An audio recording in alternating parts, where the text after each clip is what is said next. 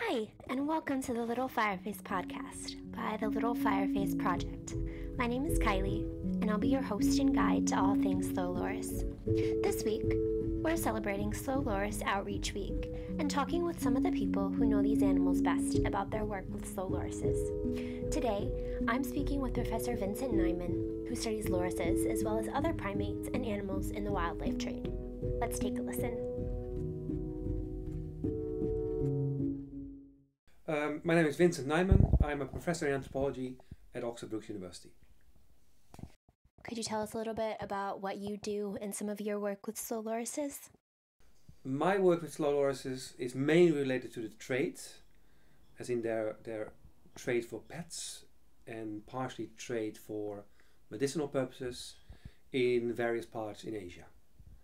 And that involves the trade in um, so called bird markets or animal markets, in wild meat markets, but also the online trade um, on Facebook and Instagram. So, the wildlife trade, that's a pretty big conservation threat to these animals? Um, yes, it is. And it, it varies a bit in which part of, of Asia we are. So, in Indonesia, mainly Indonesia, uh, we see slow lorises being traded as pets um, some people still think they are suitable pets. They're not.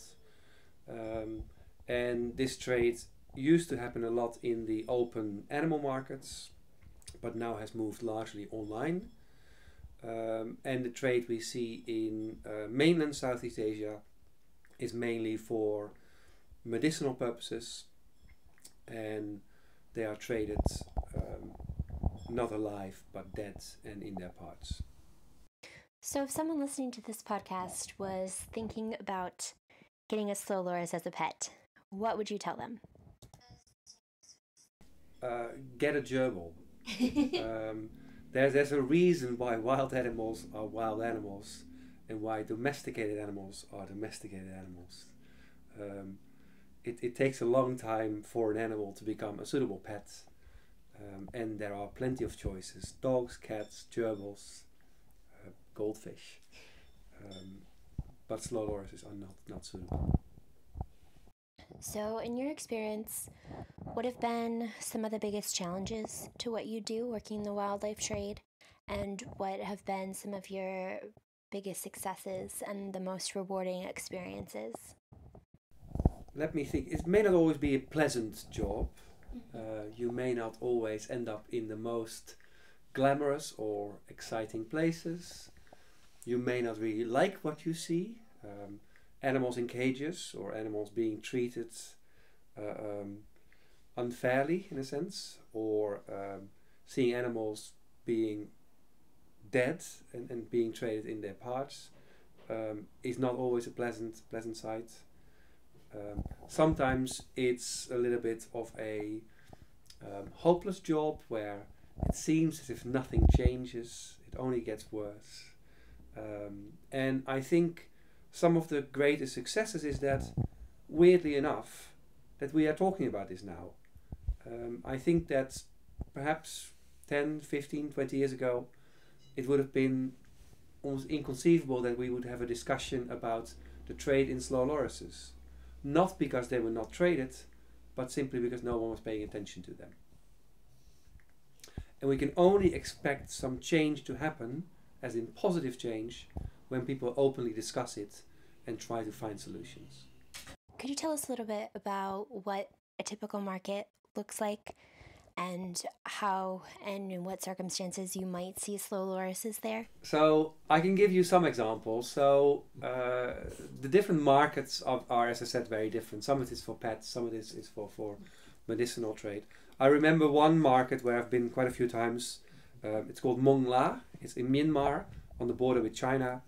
And um, what we see there is in the morning, early in the morning, all types of uh, uh, wild animals, either freshly killed wild animals or still alive wild animals, are brought in. Uh, that includes slow lorises.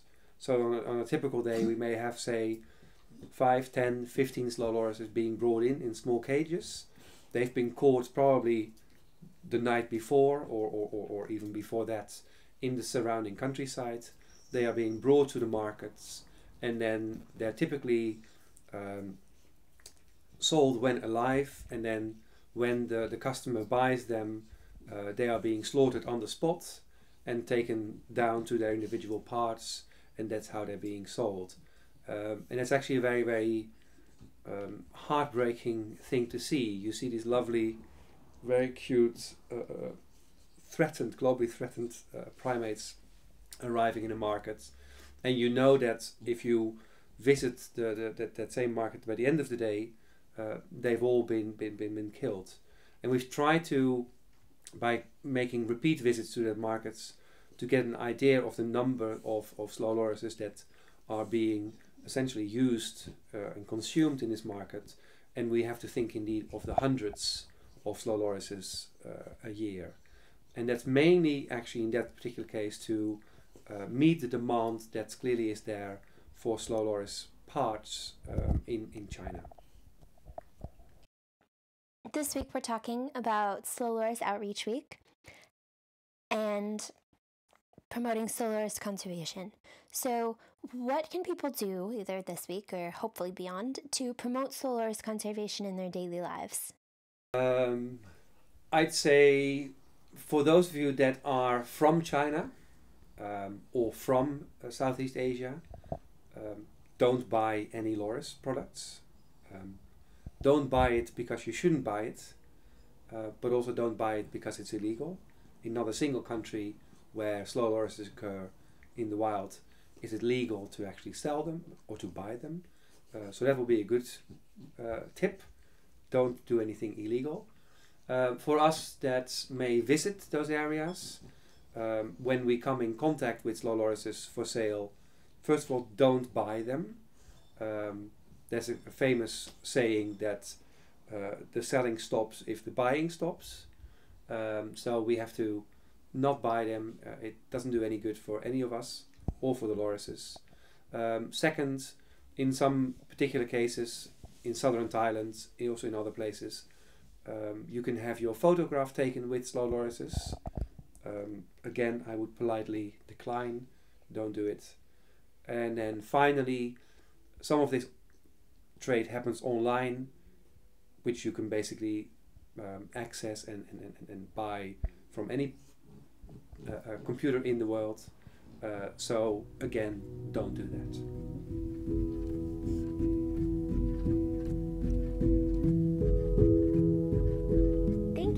Much for listening to the Little Fireface podcast.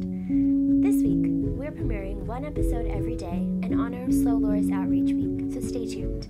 To learn more about the Little Fireface project, check out www.nocturama.org and find us on social media.